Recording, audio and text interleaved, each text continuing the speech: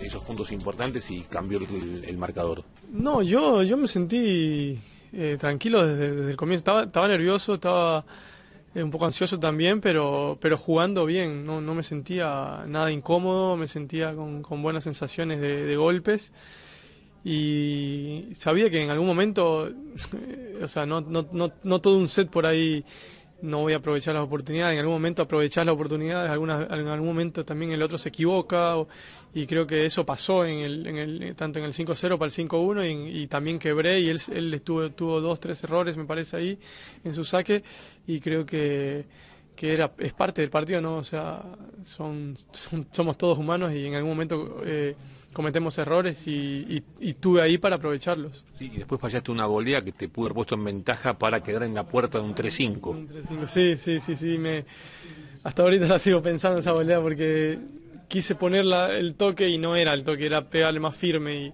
pero me vino muy al cuerpo y no me, no me pude acomodar bien, la verdad. ¿Con qué te hizo mucho daño y con qué notaste vos de tus golpes o de tu repertorio que le podías hacer daño? Eh, a mí me sorprendió mucho la derecha en defensa que tiene cruzada, es muy alta, eh, que prácticamente por más que tiras un tiro muy muy bueno y él te vuelve con una pelota que no puedes ni atacar, no puedes nada, solamente te toca defenderte y empezar a correr. Esa bola me, incomodó bastante eh, y la derecha invertida hacia el lado de mi derecha en algunos momentos es eh, no se la lee. Es como que parece que te la va a tirar para la te la va a tirar al otro lado y te termina tirando siempre al lado que no, que no corres. Eh, eso me sorprendió bastante y yo creo que, que después en el lado de la devolución leí bastante bien los saques y, y yo sentí que desde ese lado como que lo apuraba bastante en la primera bola y ya me ponía de derecha rápido y cuando aceleraba de derecha hacia su derecha ahí él se quedaba casi siempre corto y ahí podía yo empezar a atacar cada vez más. ¿Te vas con una buena sensación?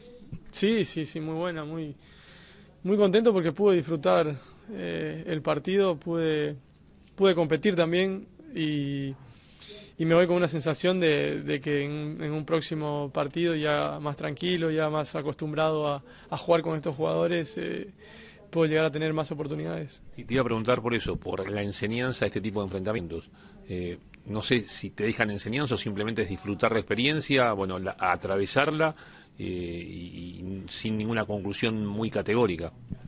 No, sí, te, eh, siempre el primer partido, o por lo menos yo pienso así, no sé, los, hay otros que capaz que no le pasa, pero a mí jugar la primera vez con, con cualquiera de los top ten es como que trato de, disfrutarlo y, por ahí no entrar tanto a ganar porque uno, uno, siente un poquito de nervios y tiene miedo a los resultados, a que no poder estar a la altura y todo eso.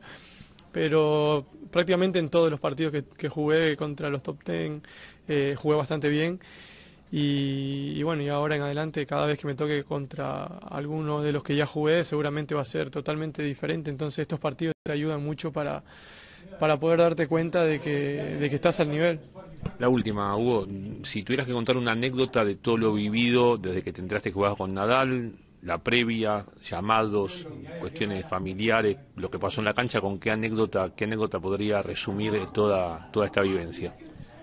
Eh, la de cuando entré a la cancha, cuando entré a la cancha, lo dije ahorita en una entrevista, eh, que sentía que estaba en un videojuego.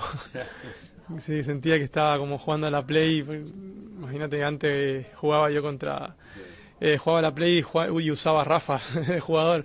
Y el estar ahí jugando contra él, contra él fue realmente muy, muy loco. ¿no? Los primeros minutos fueron, fueron como si estuviera en un videojuego.